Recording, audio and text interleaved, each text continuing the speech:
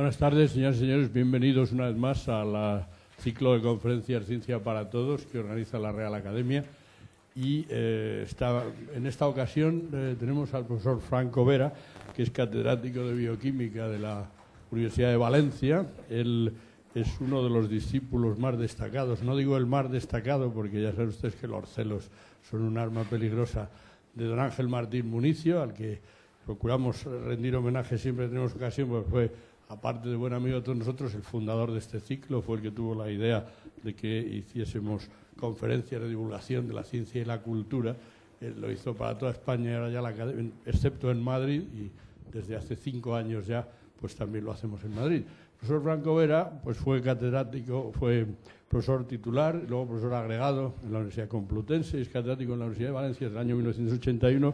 Previamente estuvo trabajando en el eh, Royal College of Medicine en siempre creo que es el Royal College of Surgeons, por eso lo quiero, lo quiero confirmar, y estuvo trabajando en las relaciones entre función y estructura, que es una, uno de los campos quizá de más interés, y además es participante activo, eh, ha estado siempre participado en este ciclo de ciencia para todos, así que le quiero agradecer una vez más que haya tenido la amabilidad de venir a hablarnos sobre la, la hemoglobina, que es efectivamente una molécula prodigiosa, así que Vamos a ver cuáles son sus prodigios. Luis, cuando quieras.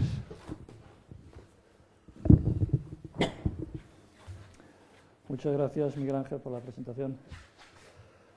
Efectivamente, trato de hablar de la hemoglobina. Le he puesto este título de una molécula prodigiosa. Y la razón es bien sencilla. Yo pienso que eh, debemos asombrarnos un poquito ante las eh, maravillas de la naturaleza, no solamente cuando contemplamos un paisaje, sino también cuando contemplamos una molécula y contemplamos cómo funciona.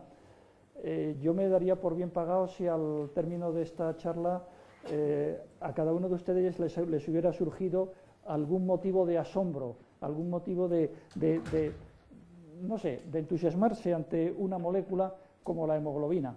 Y quería empezar precisamente con dos citas, una de Albert Einstein, que no necesita eh, presentación, que decía que efectivamente en el estudio y en general en la búsqueda de la verdad y de la belleza, el hombre puede seguir siendo niño toda su vida, con esa capacidad que tienen los niños de admirarse ante las cosas, que van descubriendo el, el mundo poco a poco y eso les va llenando de asombro.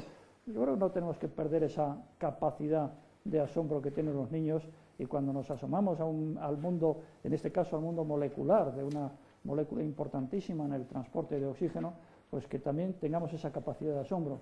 Y al mismo tiempo que tengamos esa capacidad, que decía otro premio Nobel, Conrad Lorenz, de eh, apreciar el placer que procuran las maravillas de la naturaleza, y no solamente las maravillas de la naturaleza cuando eh, nos referimos al, al, mundo macroscópico, sino también cuando nos estamos refiriendo a estos mecanismos a nivel molecular que pueden hacer de la hemoglobina, en este caso concreto, pues una molécula prodigiosa. Eh, este es esta es la evolución de los artículos publicados cada año sobre la hemoglobina. Eh, empieza muy tímidamente en los años 60 a publicarse, bueno, los años 60 es cuando empiezan a, recopilarse la mayoría de, de, las bases de datos, no quiere decir que no se publicara eh, antes de entonces, pero eh, hay un aumento eh, progresivo y estamos, fíjense, en un momento en el que siguen aumentando por encima de 6.000 publicaciones anuales sobre hemoglobina. Evidentemente, si acumulamos toda la información que se tiene sobre la hemoglobina en todos estos años, llegaremos a la conclusión de que es algo imposible de resumir en una hora. Evidentemente lo es. Pero yo voy a fijarme en unos cuantos detalles que quizá sean los más llamativos, al menos desde el punto de vista subjetivo mío. Estos son los temas que vamos a, tratar. En algunos eh, casos serán muy cortitos, en otros casos con un poquito más de detalle, pero en todos ellos vamos a tratar de encontrar pues, un motivo de, eso, de asombro y de admiración ante el funcionamiento de esta molécula. Y comenzamos con unas generalidades acerca del transporte de oxígeno por la sangre el, hombre y todos los vertebrados pues, eh, necesitamos del aire, necesitamos del oxígeno para vivir. Y ese oxígeno tiene que llegar a todas las células del organismo. Pero eh, vamos a ver cómo llega. Llega a través de la sangre. Ahí tenemos de una forma muy esquemática el sistema circulatorio del ser humano. Eh, bueno, primer motivo de asombro, si sumáramos la longitud de todos los vasos sanguíneos, teníamos 96.000 kilómetros en, una sola persona, es decir, como para dar más de dos veces la vuelta al mundo con, los vasos sanguíneos que tenemos. Eh, esto es lo que permite que la sangre llegue absolutamente a todas las células del organismo y el, oxígeno que transporta llegue perfectamente a todo. Eh, esto es un eh, esquema muy simplificado. Luego veremos otro todavía más simplificado del aparato circulatorio, el corazón que bombea la sangre y el sistema consiste en que la sangre pasa por los pulmones donde se oxigena, donde recoge el oxígeno del aire y bombeada por el corazón se distribuye por todas eh, las células y tejidos, todos esos vasos eh, eh, capilares, etcétera, cede el oxígeno en los tejidos y vuelve otra vez a los pulmones para iniciar un nuevo ciclo de oxigenación. las moléculas de oxígeno, la molécula de bioxígeno, en realidad es muy apolar, muy poco soluble en agua y la inmensa mayoría de la sangre, fluido corporal, como por otra parte todo eh, el medio interno de los organismos, es un medio acuoso.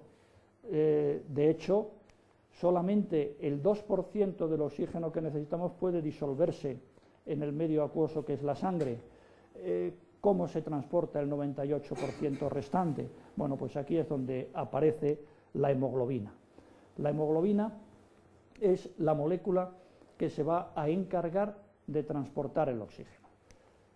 Esta es la primera visión que tenemos de la hemoglobina. La veremos muchas veces más.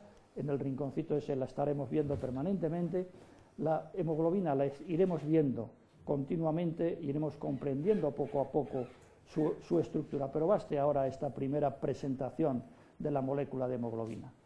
Eh, cada molécula de hemoglobina es capaz de transportar cuatro moléculas de dioxígeno. Esta sería la estequiometría, cuatro moléculas de oxígeno por una molécula de hemoglobina. Teniendo en cuenta que el peso molecular de la hemoglobina es aproximadamente 68.000 y que el de las cuatro moléculas de oxígeno es 128, la relación de pesos moleculares de la hemoglobina al oxígeno que transporta es de 68.000 a 128, es decir, 531 veces.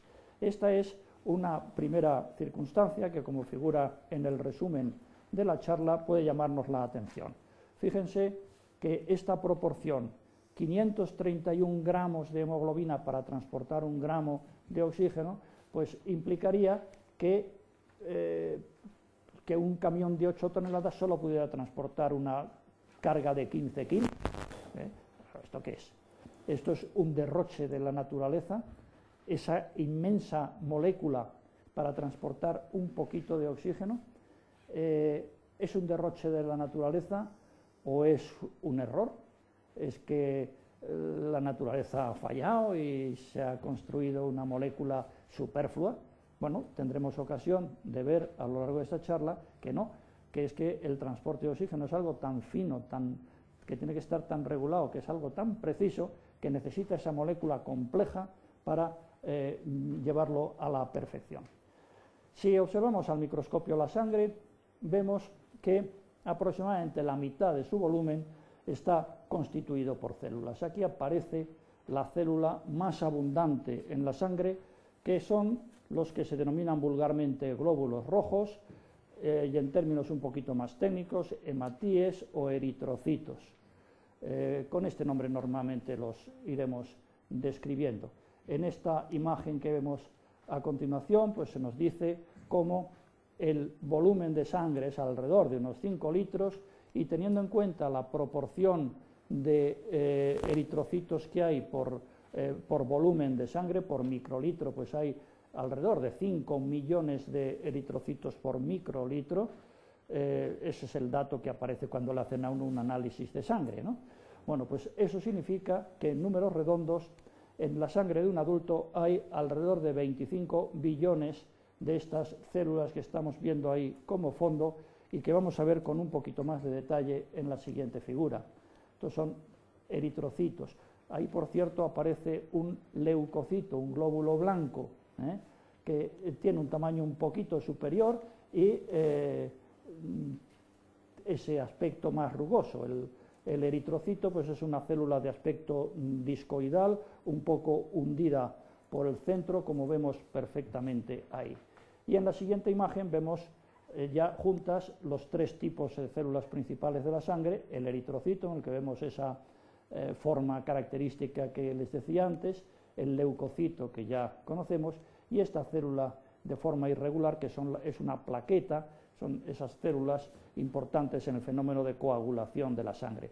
Yo no voy a hablar para nada, ya que han salido los leucocitos y las plaquetas, voy a dejarlas de lado y me voy a concentrar en los eritrocitos, que son los que llevan mm, la hemoglobina. Un, eh, un único eritrocito contiene aproximadamente 270 millones de moléculas de hemoglobina. Si tenemos en cuenta el número de eritrocitos que he dicho que hay en un ser humano, aproximadamente de orden de 25 billones, pues resulta que hay 6.700 trillones de moléculas de hemoglobina en un adulto. Es decir, una cantidad que resulta verdaderamente astronómica porque es del orden de 6 por 10 elevado a 21. ¿eh? Es decir, un número verdaderamente grande de moléculas de hemoglobina que tenemos en nuestro organismo. Eh, la hemoglobina, como tendremos ocasión de ver dentro de un momento, contiene eh, átomos de hierro y el conjunto, ese conjunto de 6.700 trillones de moléculas de hemoglobina contienen en total pues, unos 2 gramos y medio de hierro en nuestra sangre.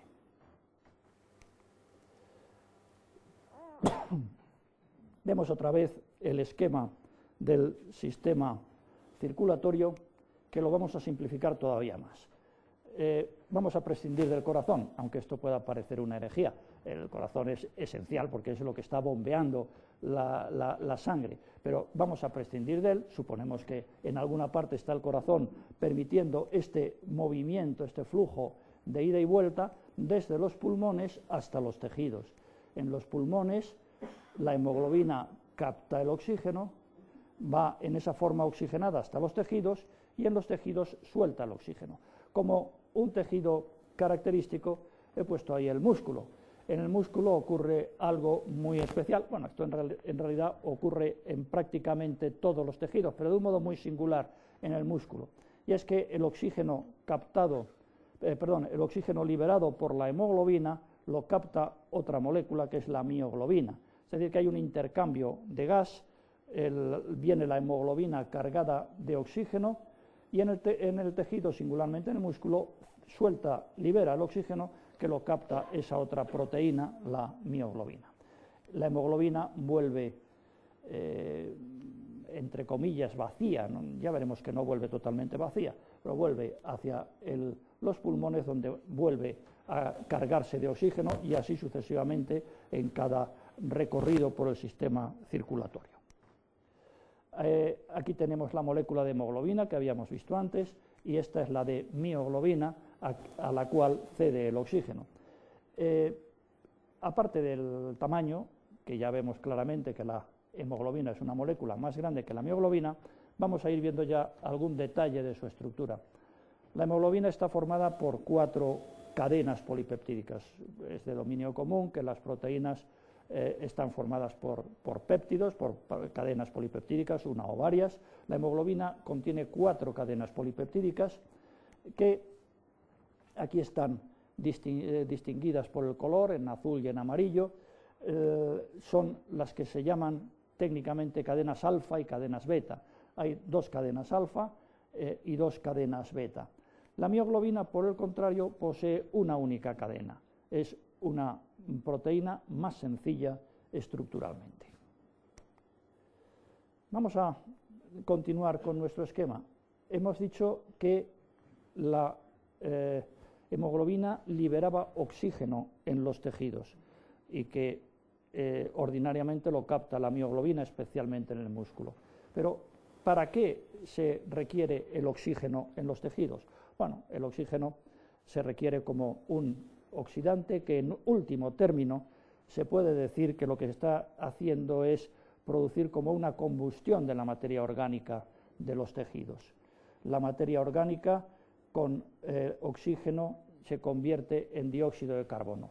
Este proceso que ahí está simbolizado de una manera muy sencillita, en realidad eh, causa muchos quebraderos de cabeza a los estudiantes de bioquímica porque es en realidad un montón de reacciones las que hay hasta la aparición de CO2 y las que proporciona el consumo directo del oxígeno. Pero bueno, en líneas generales nosotros podemos decir que la materia orgánica se oxida en presencia de oxígeno y esa materia orgánica que está constituida fundamentalmente por carbono, pues se convierte en CO2 producto de la oxidación del carbono.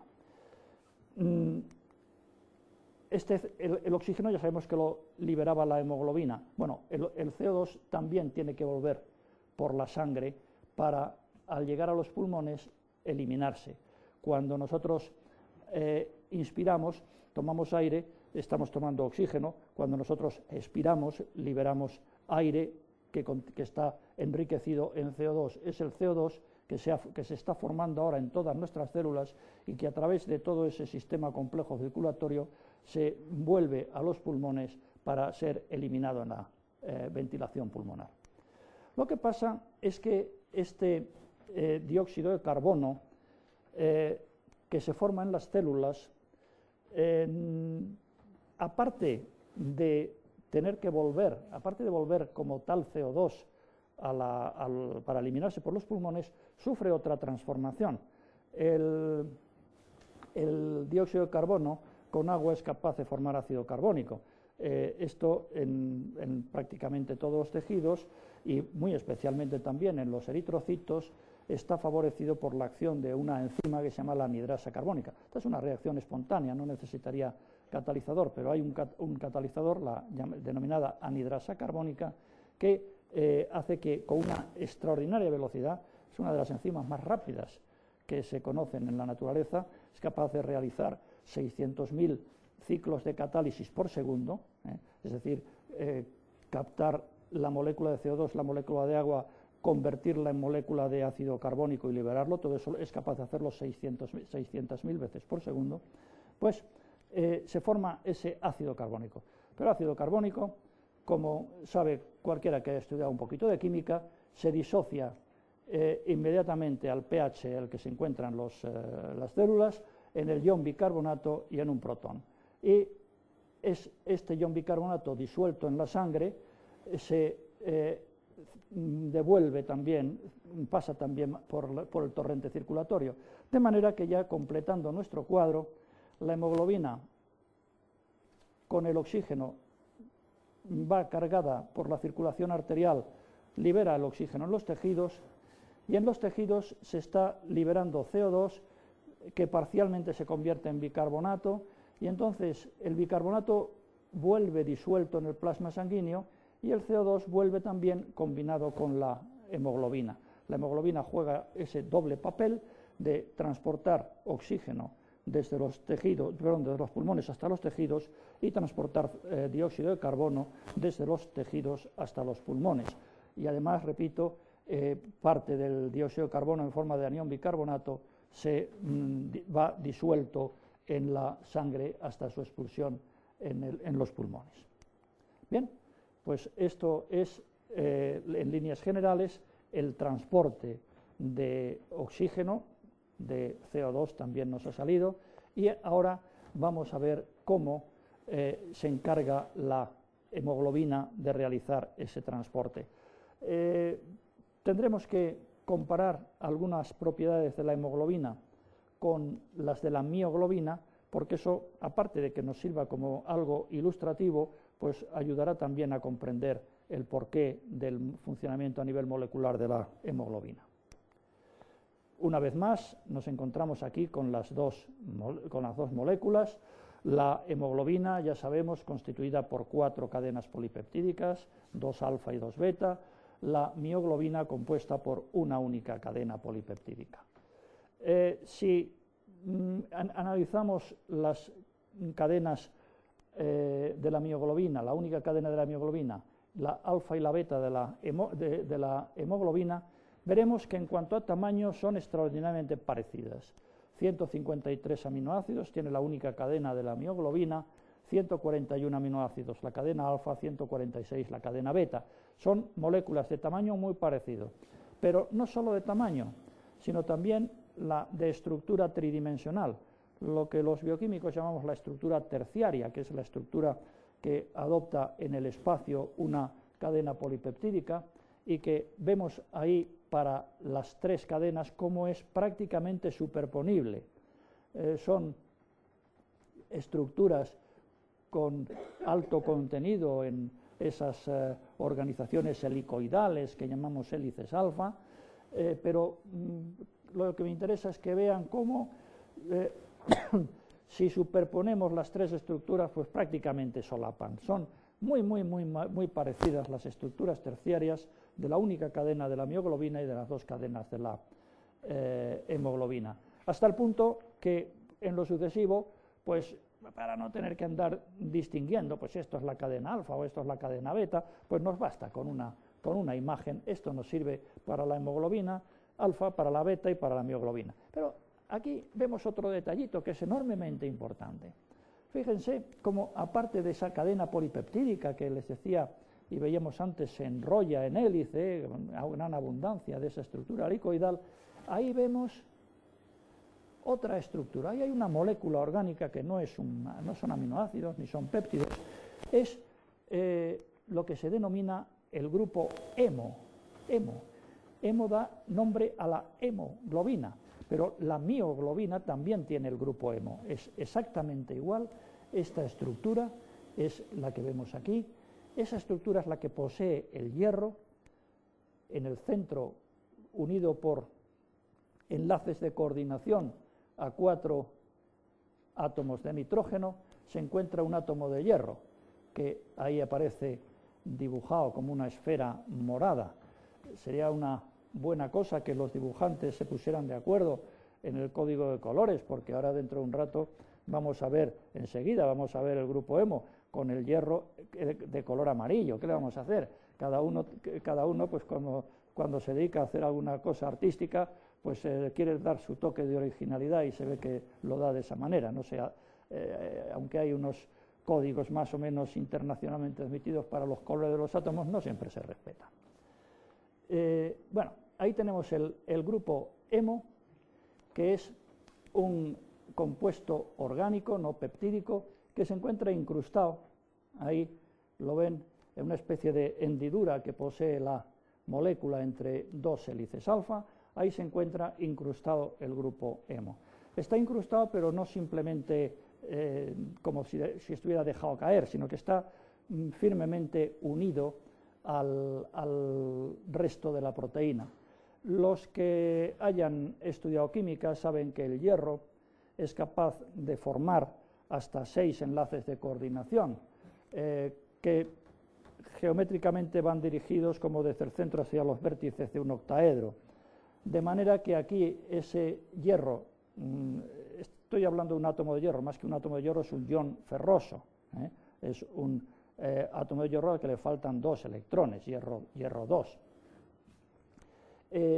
ahí ven cómo hay cuatro enlaces de coordinación que están en el plano del grupo hemo eh, tiene la posibilidad de establecer dos enlaces más de coordinación, que uno iría hacia nosotros, perpendicular al plano de la pantalla, y otro también perpendicular, pero hacia atrás.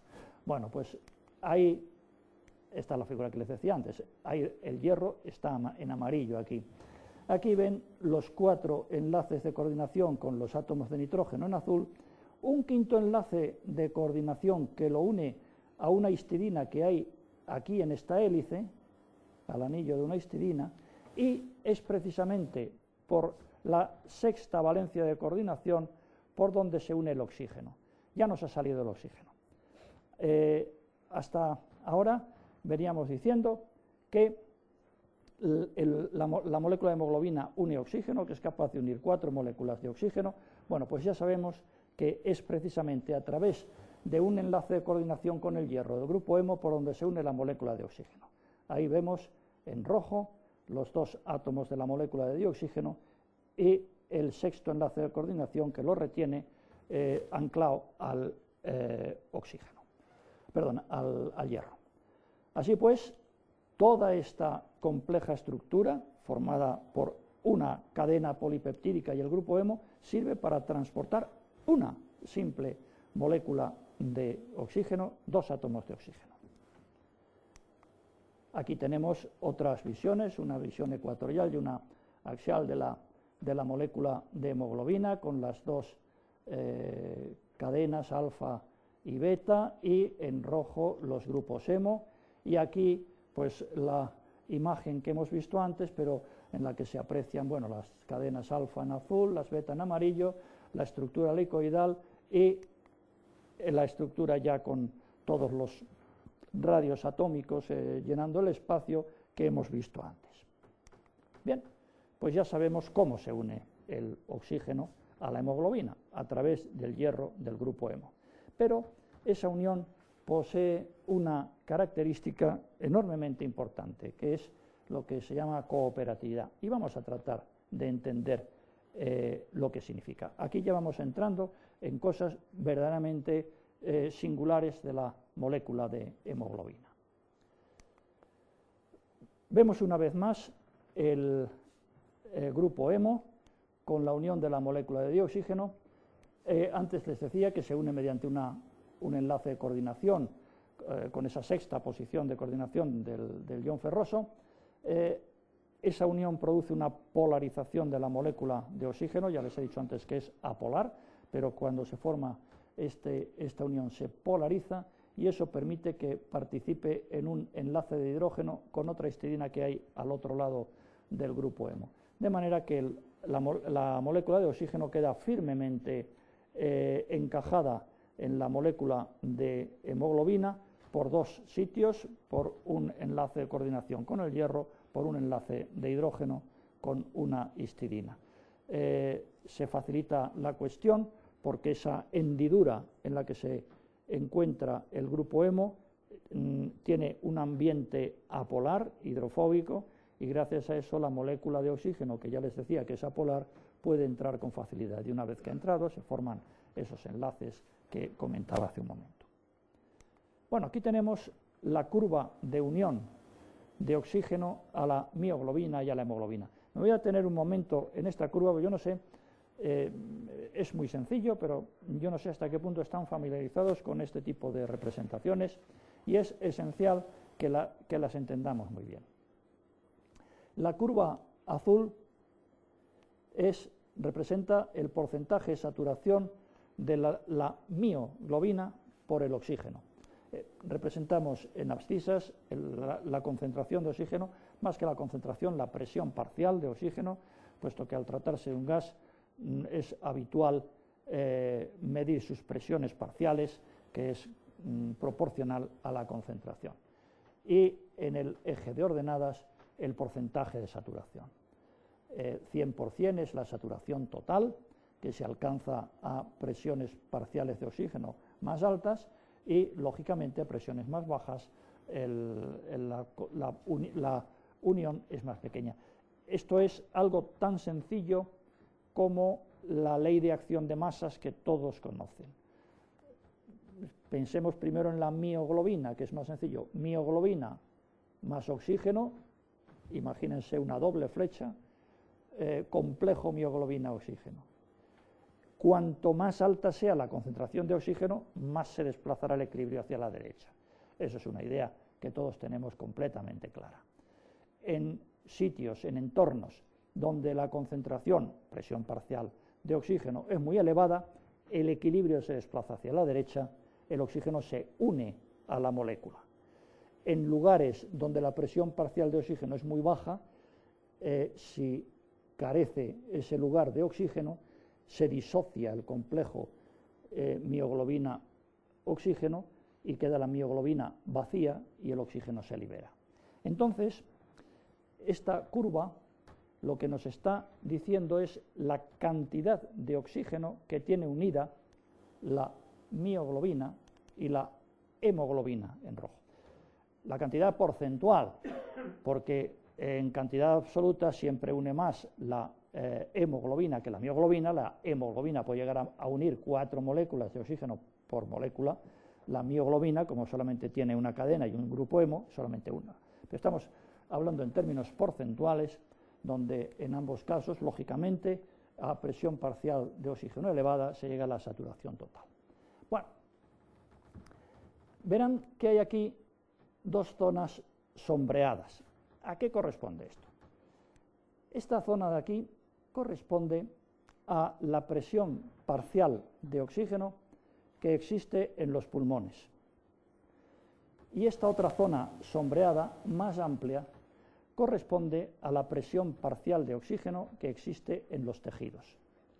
Un tejido que tenga poco gasto de oxígeno, como puede ser el músculo cuando estamos en reposo, cuando estamos durmiendo, pues como hay poco gasto de oxígeno, hay una cantidad moderada de oxígeno, una presión parcial alta, y digamos que en el músculo en reposo la presión parcial de oxígeno está alrededor de los 40 milímetros de mercurio. Por el contrario, un tejido que tenga un gasto elevado, si gasta mucho, tiene poco, ¿eh? le queda poco. Eh, un músculo en un momento de ejercicio violento tiene un gran gasto, un gran consumo de oxígeno, la concentración o presión parcial de oxígeno disponible es evidentemente más baja. Sería pues más o menos en esta región de los 15 milímetros de mercurio. ¿Vale? Entonces, esta figura nos va a servir para decir, bueno, en los pulmones, una persona normal tiene una presión parcial de 100 milímetros de mercurio, en, eh, en un músculo, en un momento de reposo, tiene alrededor de 40, en un momento de ejercicio violento, alrededor de 15. Bueno, fíjense que la curva de unión de oxígeno a la hemoglobina, que es la molécula que se va a encargar de transportar el oxígeno desde aquí hasta aquí, es una curva que técnicamente se dice es una curva sigmoide, tiene una forma peculiar, no como la mioglobina, que tiene una curva hiperbólica. ¿eh? Pero la mioglobina nos olvidamos un poquito ahora, porque la mioglobina nunca llega a los pulmones, la mioglobina, mioglobina siempre se queda en los tejidos. Vamos a pensar en la hemoglobina. Eh, recuerdo yo de mi época de niño, pues cuando iba a veranear a un pueblo que no había agua corriente. Y había un sistema que muchos de ustedes quizá hayan conocido, que era pues de, otro pueblo, que había una fuente de agua potable, llevaban agua en cubas, una cuba arrastrada por un burro, y mm, llegaba a pasaba por las calles del pueblo. Y entonces el que los vecinos que necesitaban agua salían y cogían con los cántaros, cogían agua.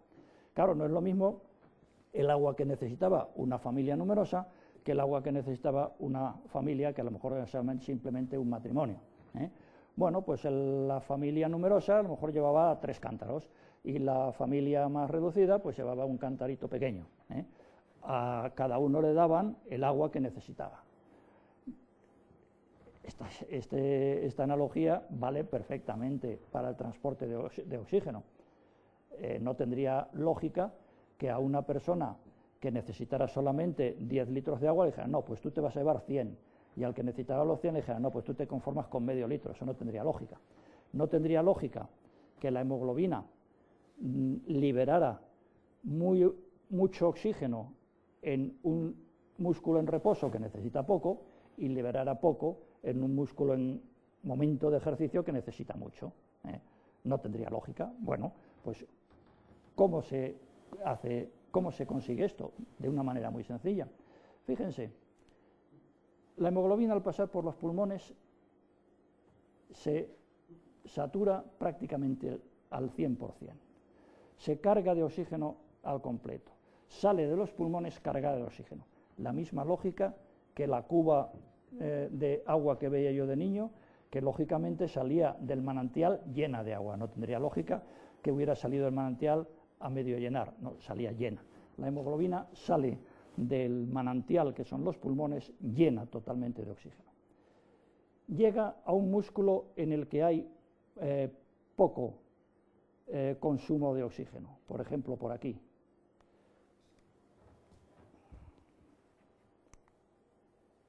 Por ejemplo, eh, bueno, ya no me ha salido tampoco, intermedio. Llega a una célula en la que hay una demanda intermedia de oxígeno.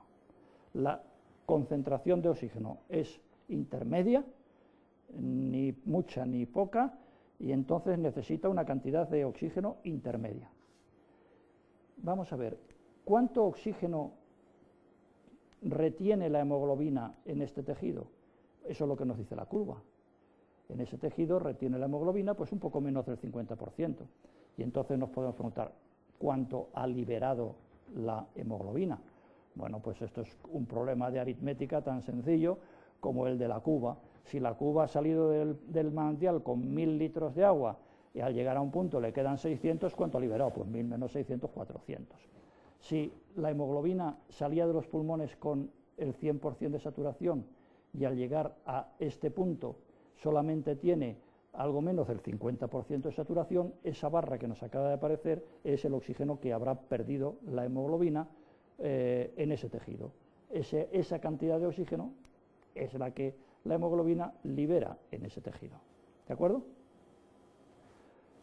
Claro, pero fíjense que la curva de la hemoglobina es ideal para ese comportamiento, porque si en lugar de llegar a un tejido como este hubiera llegado aquí, retiene mucho más, quiere decir que solamente habría liberado esto.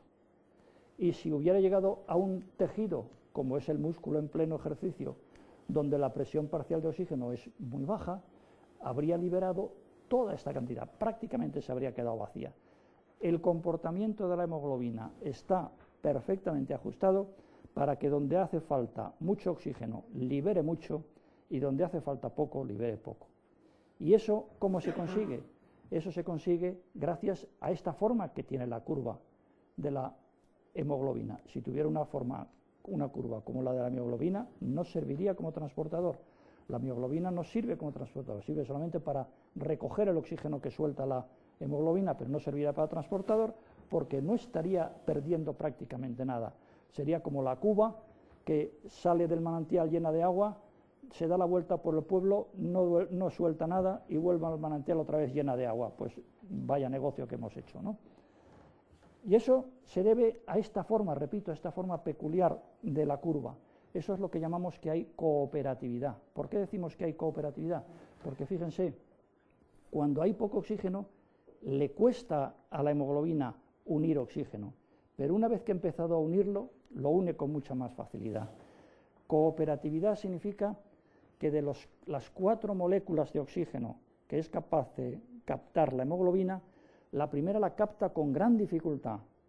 Pero una vez que ha captado la primera, la segunda la capta más fácilmente, la tercera más fácilmente y la cuarta mucho más. Es decir, que la unión de oxígeno facilita el que se siga uniendo oxígeno. Por eso decimos que hay cooperatividad en la unión de oxígeno. No hay cooperatividad en la mioglobina, no puede haberla porque solamente tiene un sitio.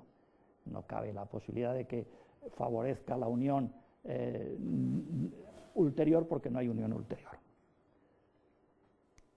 Bien, pues ya sabemos que existe la cooperatividad y sabemos cómo eso es algo muy importante para graduar la cantidad de oxígeno liberado en los tejidos. Vamos a ver otra propiedad de la hemoglobina, el llamado efecto Bohr. Se debe, es un nombre a Christian Bohr, eh, el apellido Bohr a todos los científicos nos suena, nos suena por Niels Bohr, el, autor de uno del premio Nobel de Física, autor de uno, bueno, es hijo de Christian Bohr. Eh, Christian Bohr era un, médico danés que eh, en los principios del siglo XX descubrió algo muy importante la unión de oxígeno a la hemoglobina, él no trabajaba con hemoglobina, todavía no se purificaba la hemoglobina, lo hacía con sangre total, pero eh, sabemos que esto se debe a la conducta de la hemoglobina. La unión de oxígeno a la hemoglobina es muy sensible a las variaciones de pH, de manera que a pH 7,4, que es el pH más alto que suele tener la sangre, fíjense, la curva es esta mientras que a pH 6,8, que es el, pH mínimo que tiene la sangre, se mueve en ese intervalo estrecho de, pH, la curva es esta verde. Hay una variación bastante notable. Por ejemplo, si estuviéramos en un tejido cuya presión parcial de oxígeno fuera 40 milímetros de mercurio, fíjense cómo eh, la saturación de la hemoglobina sería aproximadamente del 75% a pH 7,4 y, sin embargo, a pH 6,8 menos del 40%, es decir, mm, la mitad. Bastan esas décimas, esas seis décimas de, variación de pH para que cambie radicalmente la unión de oxígeno a la hemoglobina. Y esto tiene una importancia, una consecuencia fisiológica muy importante. Eh, acuérdense que les decía que la liberación de CO2 produce bicarbonato, produce eh, la liberación de protones, la liberación de CO2 está bajando el pH de los tejidos. Cuanto más actividad metabólica tenga un tejido, más CO2 está produciendo, más está bajando el pH. Y cuanto más está bajando el pH, acabamos de ver que más oxígeno o que menos oxígeno retiene la hemoglobina, lo cual quiere decir que libera más. Entonces acabamos de encontrar que el efecto Bohr es un segundo mecanismo de regulación del transporte de oxígeno. la hemoglobina no solamente libera oxígeno en función de la cantidad de oxígeno que hay en el tejido, sino también en función del pH, porque un pH bajo es sinónimo de una actividad metabólica elevada y entonces necesita la célula más oxígeno. Hay como un doble circuito de regulación de la liberación de oxígeno. La cantidad de oxígeno que ya hay y la actividad metabólica que implica una necesidad ulterior de oxígeno. Vamos a ver la última propiedad de la hemoglobina antes de pasar a la explicación de todas ellas en conjunto. Eh, los efectos del 2,3-BPG. El 2,3-BPG es esta molécula que tenemos ahí, 2,3-bisfosfoglicerato, de la cual únicamente me interesa que eh, tengan en cuenta un detalle. Es una molécula con una elevada densidad de carga negativa. Una, dos, tres, cuatro, cinco cargas negativas a pH fisiológico. ¿Vale? Muy bien. En la década de 1960 se eh, estudió especialmente esta molécula. Eh, curiosamente, todo surgió como consecuencia de unos estudios que se hicieron, pues tratando de descubrir las peculiaridades de la composición sanguínea entre distintos grupos étnicos. Y cuando se analizaba la sangre de poblaciones de, de los altiplanos andinos, eh, se observaba que tenían un contenido de 2,3 bisfosfoglicerato más elevado que la mayoría de la población mundial. Eh, se pensó en un principio que esto era una característica étnica, pero no, después se comprendió que era un fenómeno de adaptación a la altura. Piensen ustedes que las personas que habitan en, en estos lugares pues, se encuentran normalmente a eso, a una altura de 4.000 metros sobre el nivel del mar, y a esa eh, altura, pues eh, ya sabemos que hay problemas para eh, respiratorios porque la cantidad de oxígeno es más pequeña, la presión parcial de oxígeno es más pequeña, puesto que cuanto más arriba estemos, más baja la presión atmosférica. Bueno, pues lo curioso es que aquí vemos la curva de saturación de la hemoglobina, cómo, la, cómo influye en ella el 2,3-BPG, el 2,3-bifosfoglicerato. la curva roja es la curva de unión de oxígeno a la hemoglobina cuando la concentración de 2,3-bisfosfoglicerato es normal, es decir, la que tenemos eh, nosotros, que vivimos, pues, no al, sino, bueno, yo sí eh, vivo al, nivel del mar, ustedes a 600 metros, pero vamos, 600 metros no es nada. ¿eh? Entonces, esto es lo que yo llamo 2,3 BPG normal. la curva azul sería en presencia de una concentración elevada de 2,3 BPG, como la que puede tener un habitante, por ejemplo, de La Paz, en Bolivia, que está a 4.000 metros de altura sobre el nivel del mar. Entonces vemos una primera cosa que nos puede resultar sorprendente. Caramba, el oxígeno se une peor a la hemoglobina en presencia de 2,3 BPG. Eh, fíjense que la curva eh, con 2,3 BPG alto va por debajo. Quiere decir que une menos oxígeno eh, cuanto más alto sea la concentración de 2,3 BPG. Esto nos puede parecer contradictorio. Entonces, una persona que viva a 4.000 metros sobre el nivel del mar, donde hay poco oxígeno, si encima une menos, esto va a ser un desastre a la hora del transporte. Bueno, pues vamos a ver cómo justamente es todo lo contrario. Ahí nos han aparecido unas líneas. 100 milímetros de mercurio, la presión parcial de, oxígeno que hay a nivel del mar. Eh, alrededor de 40 milímetros de mercurio. La presión parcial que hay en el músculo, por ejemplo, en reposo, o la que puede haber, por ejemplo, en células del sistema nervioso central, ¿eh? más o menos, en el cerebro. Eh, el individuo que tiene la concentración de 2-3 BPG normal, cuando respira a nivel del mar, su hemoglobina se satura prácticamente al 100%. Cuando esa hemoglobina llega al cerebro, pues retiene aproximadamente el 70%, esa barra que hay ahí, eso es lo que libera en el cerebro. Pero vamos a ver qué pasa si nos trasladamos a La Paz. Cogemos un avión y mañana estamos en La Paz. Entonces resulta que en La Paz, a 4.000 metros de altura, eh, la presión parcial de oxígeno en los pulmones ya no es 100 milímetros de mercurio, es del orden de 60 milímetros de mercurio. Entonces, claro, fíjense, nuestra hemoglobina, en lugar de cargarse al 100%, se carga solo al 90%. Es decir, que la cantidad de oxígeno capaz de transportar desde los pulmones, que en, en, ese, en esa altura tiene una presión parcial de 60 milímetros de mercurio hasta una célula del sistema nervioso central, es la que viene dada por esa línea de puntos. Como ven, bastante menos, las dos terceras partes del oxígeno que nosotros estamos recibiendo. Esa es la causa por la cual se, produce ese mal de altura. Eh, una cantidad de oxígeno menor, una tercera parte menos liberada en el, en el sistema nervioso hace que uno tenga dolor de cabeza, que uno tenga mareo, y si en lugar del sistema nervioso pensamos en el músculo, pues claro, menos aporte de oxígeno, menos capacidad de hacer movimiento muscular, cansancio enseguida, los síntomas del mal de altura, que al cabo de una semana o más o menos produce se, adapta. ¿Qué ocurre?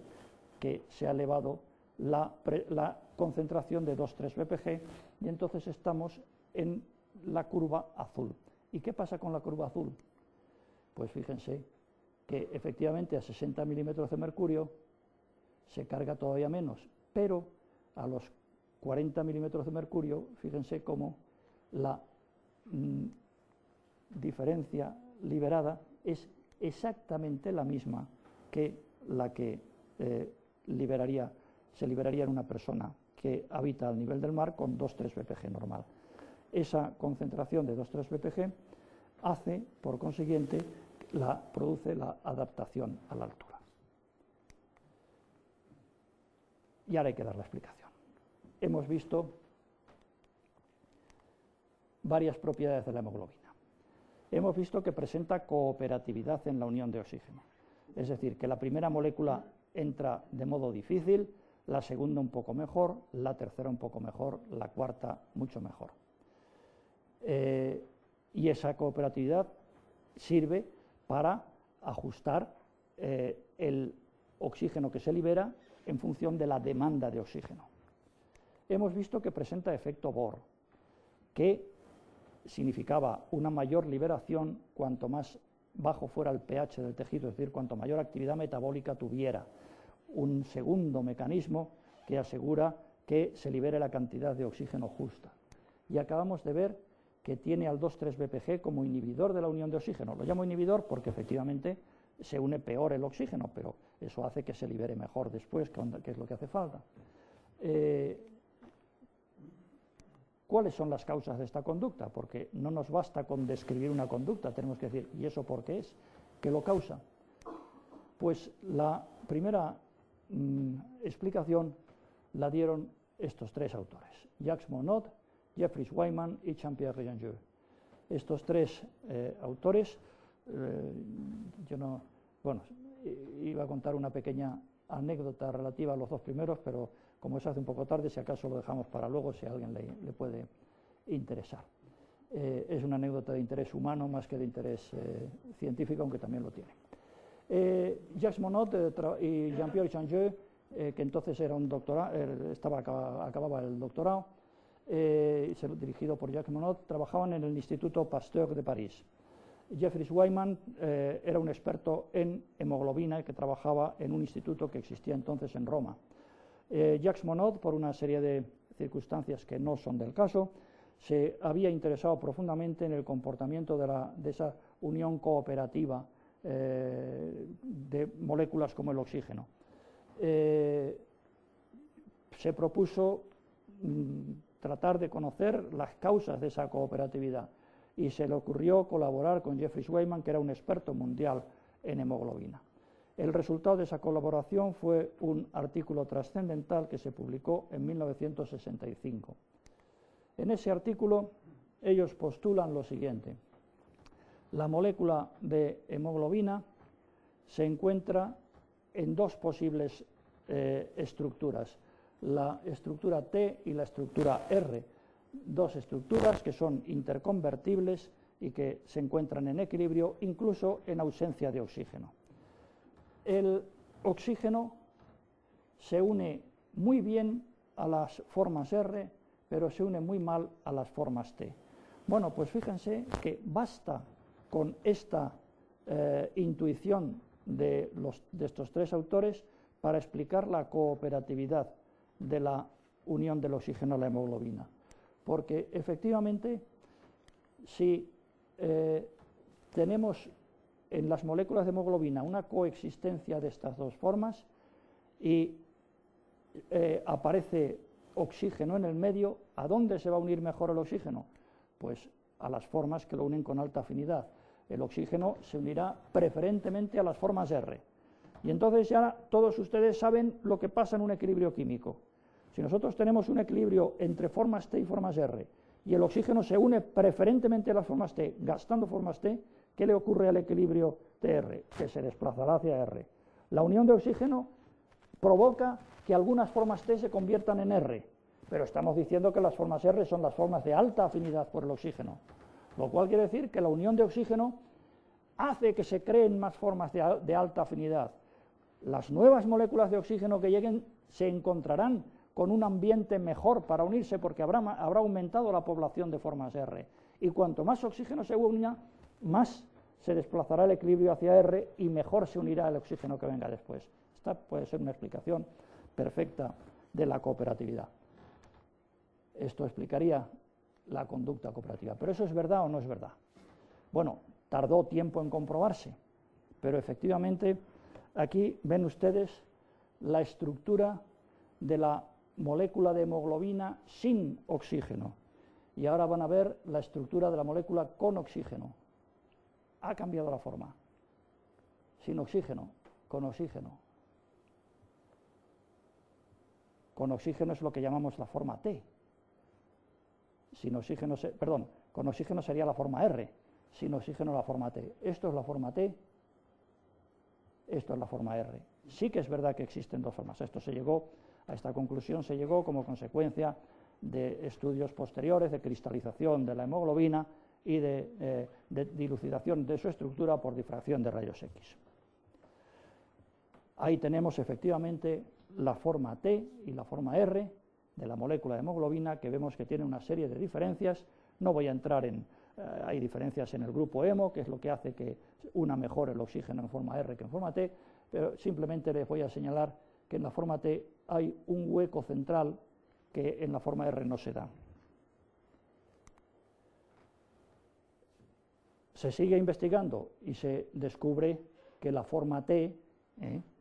que es estructuralmente distinta que la forma R, la forma T es estable a pH bajo, mientras que la forma R es estable a pH alto. Pues esto explica el efecto Bohr, porque cuando baja el pH, ¿qué ocurría? ¿Se acuerdan? Cuando baja el pH se liberaba oxígeno. Pero claro, si baja el pH, ¿qué le ocurre a este equilibrio? Si la forma T es estable a pH, ácido, cuando baja el pH el equilibrio se desplaza de R hacia T, pero como las formas T unen oxígeno con poca afinidad, al desplazarse de R hacia T se libera oxígeno. El efecto Bohr se explica por el mismo fenómeno. Pero más aún, ahí tenemos el efecto Bohr. Más aún, la forma T es capaz de unir 2,3 BPG. La forma R no es capaz de unirlo. ¿Por qué? Porque el 2,3-BPG se une precisamente en ese hueco, que no existe en la forma R. Aquí tenemos la estructura de ese hueco. Fíjense cómo en ese hueco cabe perfectamente la molécula de 2,3-BPG, aquí dibujada en rojo. ¿Se acuerdan que les decía? Lo único que, lo que me basta con que recuerden es que la molécula de 2,3-BPG tiene una gran carga negativa. Pues fíjense cómo en este hueco tenemos 1, 2, 3, 4, 5, 6, 7 aminoácidos con carga, 8, eh, eh, que me, deja el último, 8 aminoácidos con carga positiva que interaccionan perfectamente con las cargas negativas del 2,3-BPG. El 2,3-BPG cabe en este hueco y además se une muy bien por esa interacción electrostática de cargas negativas con positivas. ¿De acuerdo? En la forma R, como no existe ese hueco, no se puede unir el 2,3-BPG. La, conclusión, eh, al unirse el 2,3-BPG, el equilibrio se desplaza hacia la forma T y al, desplazarse hacia la forma T, eh, porque el 2,3-BPG se une a las formas T, se desplaza el equilibrio hacia las formas T, se libera oxígeno. El oxígeno se libera mejor en presencia de 2,3-BPG. Y de propina esto nos va a explicar, por ejemplo, la transferencia de oxígeno de la madre al feto. Aquí tenemos un feto de 50 y pocos días, en el que ven cómo ya están perfectamente desarrollados los vasos sanguíneos del cráneo. El corazón es funcional desde ya un par de semanas antes, pero vamos, he puesto esta foto porque se ven muy bien los vasos sanguíneos. El feto, en lugar de tener una hemoglobina formada por dos subunidades alfa y dos beta, tiene una hemoglobina, la hemoglobina fetal, formada por dos subunidades alfa y dos subunidades gamma. ¿Qué diferencia entre las subunidades gamma y las subunidades eh, beta? Pues que faltan en, el feto, en la, hemoglobina F, faltan dos de estos aminoácidos que tienen carga positiva. Fíjense, si hay poca, si hay menos carga positiva, el 2,3-BPG que se une por interacción electrostática, al haber menos carga positiva, se une peor. ¿no? Recuerden que la fuerza de una interacción electrostática depende del producto de las cargas. Si disminuimos la carga positiva, el, resultado es que el 2,3-BPG se une peor. Si el 2,3-BPG se une peor, como el 2,3-BPG inhibe la unión de oxígeno y estamos inhibiendo la unión del inhibidor, ¿cuál es el resultado? Inhibir al inhibidor es aumentar. La sangre del feto retiene el oxígeno mejor que la sangre de la madre y eso favorece la transición, la cesión del oxígeno a través de la placenta del, adulto, de la madre, al feto. Si no fuera por esa circunstancia, el feto no podría, eh, se asfixiaría, no tendría capacidad de retener oxígeno. Y también de eh, propina, eh, esto nos explica el porqué del transporte del CO2 de vuelta a los pulmones, y es que la hemoglobina en su forma T une mejor el CO2 que en su forma R. Como sale de los pulmones oxigenada en forma R y suelta el oxígeno en los tejidos, pasa a la forma T, el resultado es que une mejor el CO2 de vuelta a los pulmones. Eh, dos palabras para hablar un poquito del futuro. Eh, ya ven que estamos en un momento de expansión exponencial de la, investigación sobre la hemoglobina, a pesar de que se lleva muchos años investigando y se sabe muchísimo sobre ella, es más lo que se puede saber. Y a mi modo de ver, un campo en el que hay que eh, se progresará en el futuro es en la eh, fabricación de sustitutivos de la sangre. Eh, la sangre es un transportador de oxígeno excepcional, pero tiene un problema. Como acabamos de ver, la hemoglobina está encerrada en los eritrocitos y los eritrocitos en su superficie tienen unos determinantes antigénicos que hacen que no sean compatibles para cualquiera. De hecho, todo el mundo sabe que no se puede recibir una transfusión de sangre de cualquier donante, sino que tiene que, ser eh, tiene que requerir unas condiciones de compatibilidad. Eh, si se suprimen los eritrocitos, pues sí, pero lo que pasa es que al, suprimir los eritrocitos, la hemoglobina tendría que tener las mismas propiedades que adquiere con ese empaquetamiento brutal que tiene dentro del eritrocito. Recuerden la enorme cantidad de moléculas que había dentro de un eritrocito. Y ese es el problema en el que se trabaja, en conseguir que la hemoglobina libre fuera del eritrocito se empaquete de la misma manera que lo está dentro para que tenga las mismas propiedades de efecto Bohr, de cooperatividad, de unión del 2,3-BPG que la hacen un transportador tan excepcionalmente bueno. Y entonces, en ese sentido, pues hay una serie de sustitutivos de sangre que casi todos están eh, fabricados a partir de hemoglobina auténtica, pero sin estar encerrada en el eritrocito, sin estar envuelta por esa membrana, que es lo que provoca los problemas de rechazo. Eh, un derivado que comercialmente se llama Hemopure, pues está ya aprobado para el uso eh, en humanos en Sudáfrica, es el único país que lo aprueba, eh, y en Estados Unidos pues se han vuelto a repetir los ensayos clínicos porque parece que hay algún pequeño problema de toxicidad.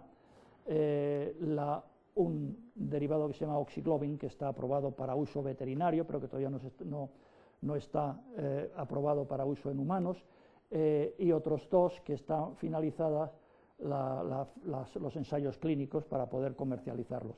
Finalmente hay eh, unos derivados artificiales que ya no son hemoglobina normal, pero que intenta eh, mimetizar los efectos.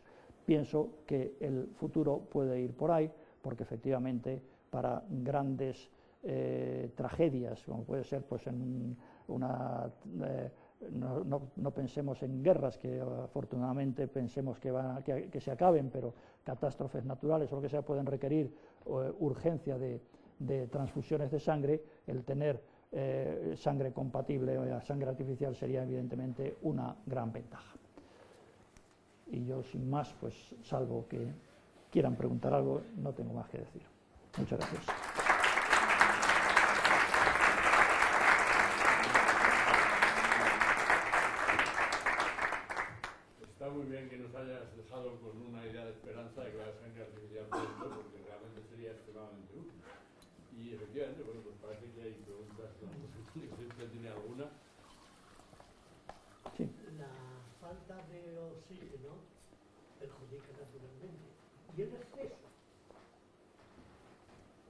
¿Cuál es más perjudicial?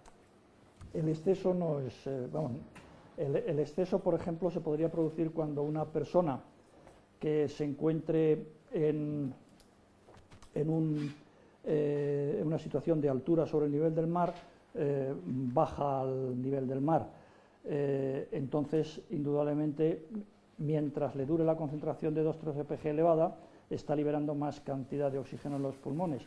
En eso se basa un fraude eh, deportivo que se descubrió hace eh, dos o tres años, en la que unos deportistas se entrenaban en altura, eh, en ese momento les extraían sangre y luego esa sangre se conservaba y se le, y se le transfundía al deportista en vísperas de una, de una, prueba deportiva a nivel del mar. Entonces, claro, no se podía considerar como un fraude porque en realidad era una autotransfusión, una sangre mía que me han extraído y me la vuelven a poner, pero claro, se la han extraído en un momento en que por estar entrenando en altura tiene una concentración de 2,3 BPG muy elevada y se la transfunden en el momento, a nivel del mar o a nivel normal y entonces eso significa una mayor liberación de oxígeno en los tejidos, una actividad metabólica y una actividad muscular indudablemente más fuerte.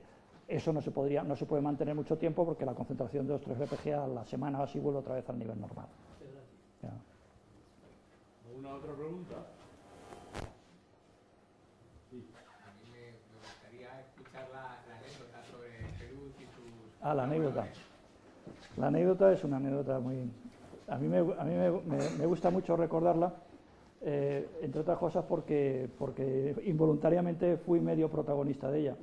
Y es que el profesor Martín Municio, que antes se refería eh, el doctor Alario, eh, organizó a partir de 1967 unos cursos de biología molecular en la Universidad Complutense que se realizaban con los auspicios de la Organización Europea de Biología Molecular y eso permitía invitar a bastantes conferenciantes extranjeros. En aquella época pues fue eh, un gran aporte para la naciente bioquímica española.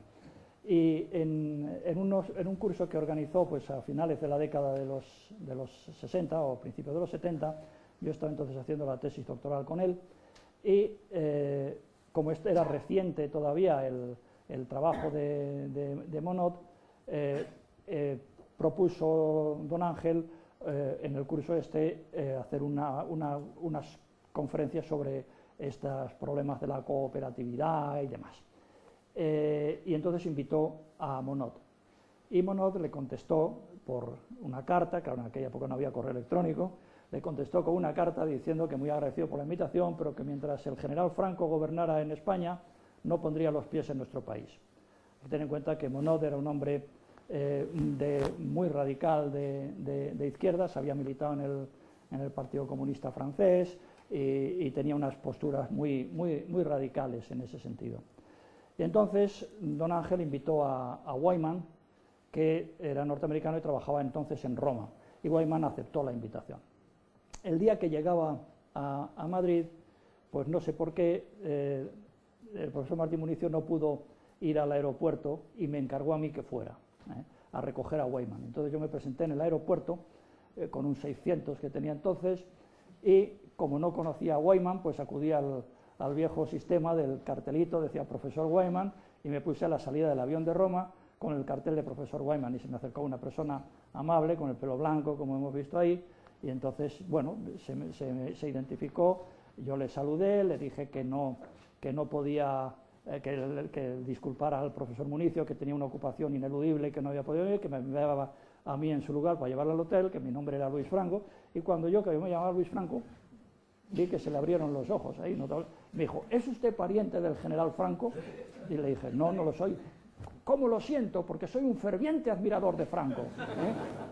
Bueno, pues esa es la anécdota, ¿no? Como dos personas de una postura política tan radicalmente distinta eran íntimos amigos y habían colaborado y, habían eh, conseguido dar un paso gigante en, el, la dilucidación de la, del funcionamiento de la hemoglobina, con lo cual yo siempre que cuento esto digo que, que si fuéramos capaces de fijarnos en lo que nos une más que en lo que nos separa, pues otro gallo nos cantaría. ¿no? Yo es que en realidad también me llamo Franco. y entonces a mí, lo menos, no sé, 100 veces, pero cada vez que iba afuera, porque yo también soy de esa generación que todavía había ese sistema, se me decía, ¿y es usted algo de Franco? Y decía, súbdito.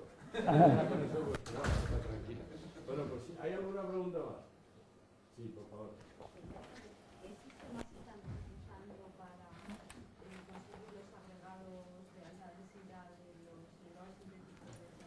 ¿Perdón, qué se hiciste? La técnica para conseguir los agregados de alta densidad. Ah, estos se, han hecho pues, por, por unión a matrices de, gel o también por, por eh, técnicas de, reticulación covalente, de unir las eh, moléculas entre sí.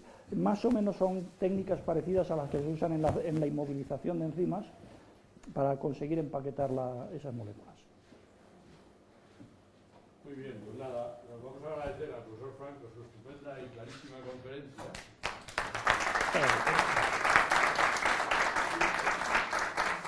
El próximo jueves están ustedes convocados nada menos que para oír hablar de la historia de los números. Toca matemáticas, así que sean ustedes bienvenidos. Muchas gracias.